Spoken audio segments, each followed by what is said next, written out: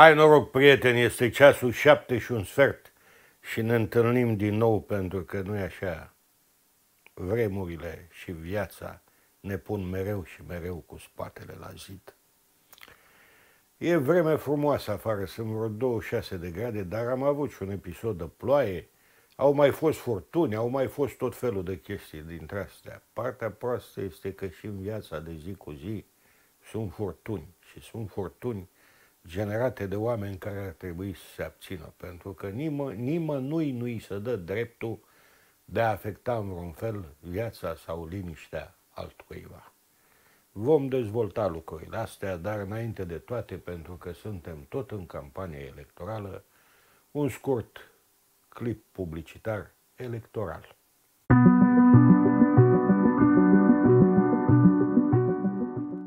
Ajungem în anul 2024. După aproape 20 de ani de administrație realizată de Valentin Ohima, comuna Bala rămâne printre ultimele comune din județul Mehedinți. Turismul nu a evoluat mai deloc, deși comuna Bala este singura stațiune din județ. Strandul din Bala este într-o stare avansată de degradare, uitat de actualul primar. Infrastructura este aceeași precum acum 20 de ani. O mare parte din drumuri sunt în continuare neasfaltate. Domnul primar pare mai preocupat să distribuie știri legate de artificii decât proiecte, lucruri concrete pentru oameni. Câinii fac ravagii prin comună. Turiștii au ajuns să fugă de comuna Bala, care odinioară era plină de turiști. Obiectivele turistice sunt lăsate în paragină, deși comuna are o mare încărcătură istorică. În anul 2024, comuna Bala nu beneficiază de apă, canalizare, infrastructură rutieră. În anumite zone nu există semnal la telefon, lumină pe stradă pe timpul nopții, iar oamenii s-au săturat. Populația încă cară apă cu bidoanele în anul 2024. Încă nu beneficiază de asfalt, lucruri care ar trebui să fie elementare pentru anul în care trăim. Observăm din SEAP, sistemul de achiziții publice, că domnul primar investește în căminul cultural sume imense de bani.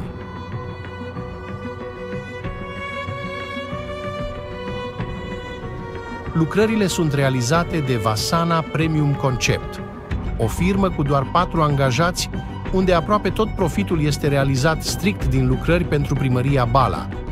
Mai precis, lucrări de renovare peste 10.000 de euro. Alte lucrări de renovare peste 3300 de euro, alte lucrări de renovare peste 31.000 de euro. Din nou lucrări de renovare, alți bani, peste 2200 de euro. Toate aceste achiziții aprobate în doar câteva minute.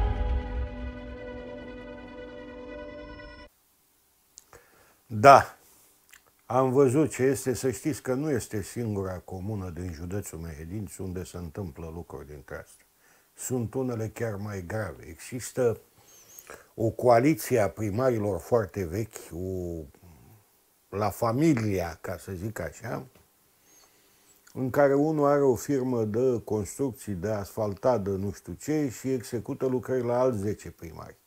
Altul are o firmă de amenajerii de nu știu care, care lucrează pentru ceilalți 90, tot la fel altul de amenajări interioare, altul și să faci așa un cer vicios de banii circulă între aceste persoane prin firmele lor, administrate evident de un membru al familiei, că ei personal n-au voie să facă lucrul ăsta. Știți și dumneavoastră ce se întâmplă pentru că trăiți acolo și pentru că suportați toate chestiunile astea. E trist.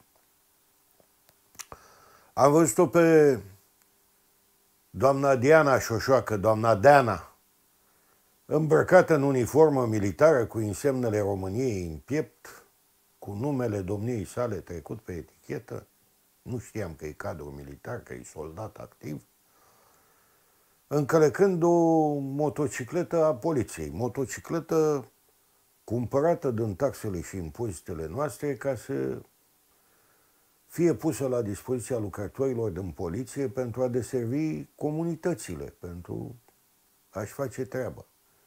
Doamna Diana Șoșoacă este mult peste standardele unui motociclist uh, normal, adică nu e silfidă, nu e asta, e, se vede cu ochiul liber. Pentru domnia sa ar trebui niște suspensii de-astea, ca la tractoare, arcuri grele, arcuri nu știu ce. Până la urmă, cum să-ți permiți să faci așa ceva, să utilizezi fie și pentru selfie-uri, pentru filmulețe de-astea electorale, atât uniforma armatei române, cât și motocicleta din dotarea polițiștilor.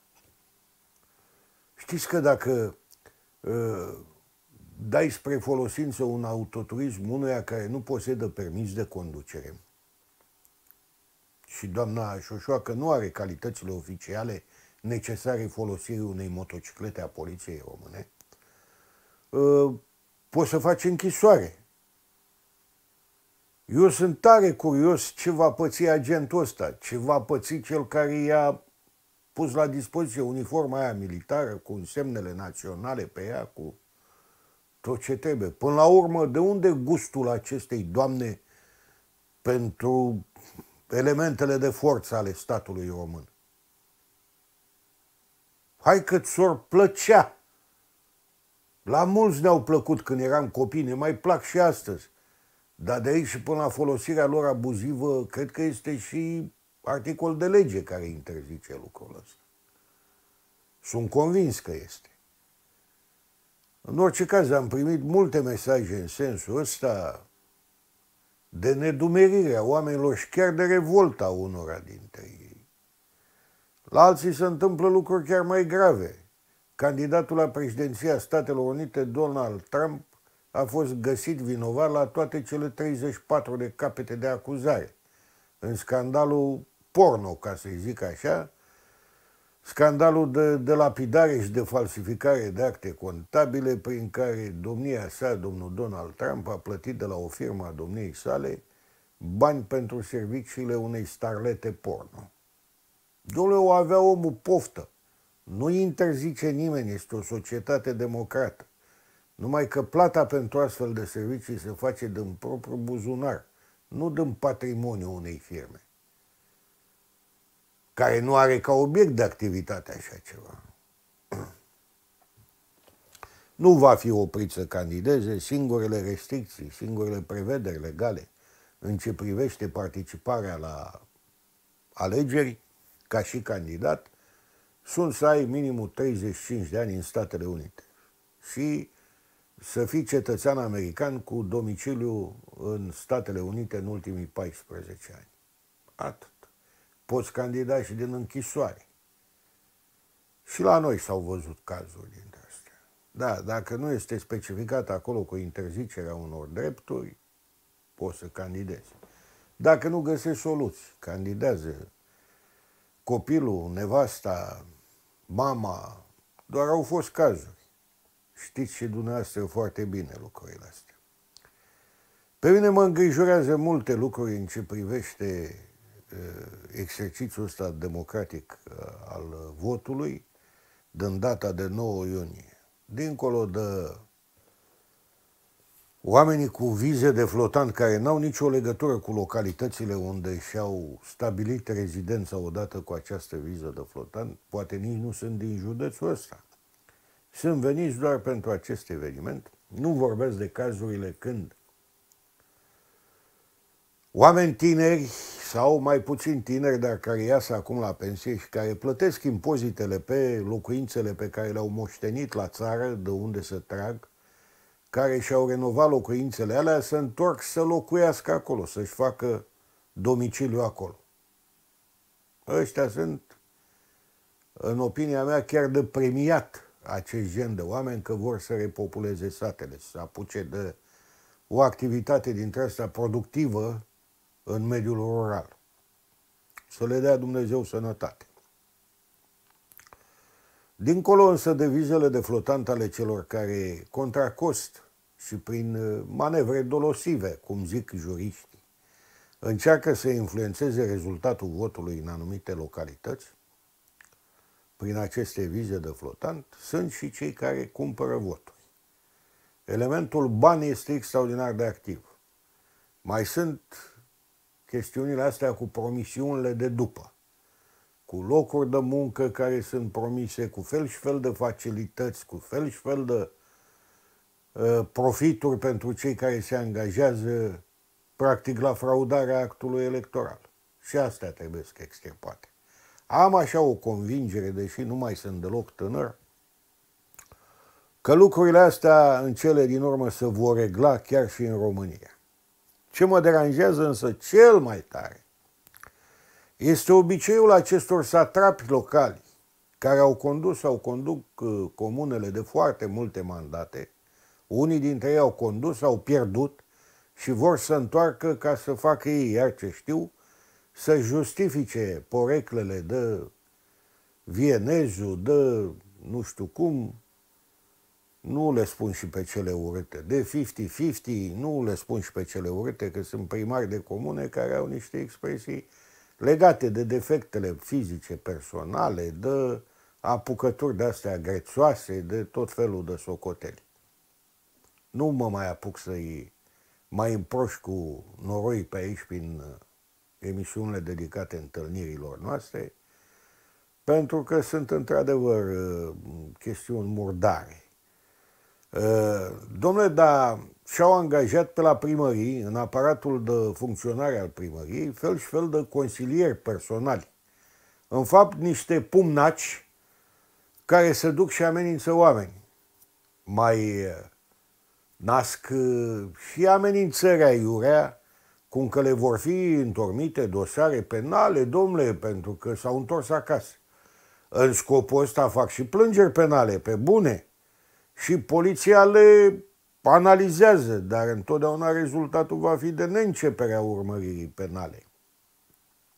Pentru că faptele nu se confirmă, sunt lucruri obișnuite de viață, să vrei să te întorci acasă. Nu este infracțiune. Așa că, oameni buni, cei care v-ați pomeni cu astfel de indivizi pe la porțile gospodăriilor, vedeți-vă de treabă. Lăsați să zboare vorbele. Nu vă lăsați intimidați. Dumneavoastră votați așa cum vă dictează conștiința. Este normal că cei care știu că n-au șanse să apeleze și la astfel de metode, crezându-vă naivi. Numai că nu e așa. Oamenii sunt mult mai informați și mai pregătiți decât acum 20-25 de ani. În primul rând că cei care erau fără carte și asta s-au cam dus, Dumnezeu să-i odihnească. În al doilea rând, mijloacele de informare își fac treaba, iar oamenii sunt pregătiți să le acceseze chiar cu aviditate. Absorb aceste informații. Nu mai dai la întors așa cum vrei.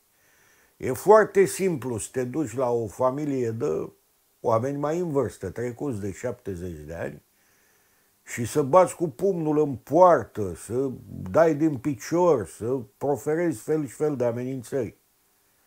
Până la urmă, totul se va întoarce împotriva voastră, pumnacilor. Pentru că oamenii vor face ceea ce crede ei de cuvință, ceea ce știu ei că poate să le fie bine, lor, copiilor sau nepoților lor. Iar voi veți fi puși la obroc după ce vor trece aceste alegeri vi se va plăti cu vârf și îndesat pentru că este o lege a firii. Nimic pe lumea asta nu rămâne neplătit, iar amenințările voastre să pot întoarce împotriva voastră.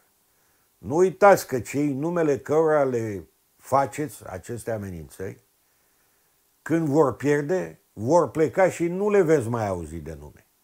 Ei au avut uh, abilitatea să-și construiască averi, să-și facă depozite bancare în alte părți. Nu vor mai avea legătură cu comuna unde voi luptați în tranșee cu mijloace neortodoxe. Veți rămâne să trăiți lângă acești oameni pe care acum voi sau părinții voștri. Lângă acești oameni pe care acum îi amenințați, îi țineți într-o teroare psihică extraordinară. Și oamenii vă vor plăti prin atitudinea lor, pentru că nu este simplu. Nici chiar într-un oraș mai mare, cu atât mai puțin în mediul rural mehedințean, să fii exclus de comunitate. Să vezi că vrei să dai bună ziua și n-ai cui. Nu-ți va răspunde nimeni. Ce mai faci atunci cu forța pumnului? Obligi oamenii să socializeze cu tine? Nu o vor face. În plus, plecându-vă de acolo stăpânii vremelnici, vor înceta și stipendiile pe care le primeați până acum, sumele alea, sinecurile, la care aveați acces. Și viața voastră va fi din ce în ce mai grea. Până la urmă, așa este drept. Lăsați oamenii să trăiască așa cum gândesc, cum cred și cum pot ei. Fiecare dintre ei știe cel mai bine cum este mai de folos, cine este mai de folos, cine îi creează avantaje astfel încât să nu ducă nici dorul copiilor pe perioade foarte îndelungate, nici să nu-i o suce dragostea față de nepoți fără posibilitatea de a-i vedea. Este mare lucru să lăsăm în pace oamenii care pot și fac. Iată, să construiesc dispensare.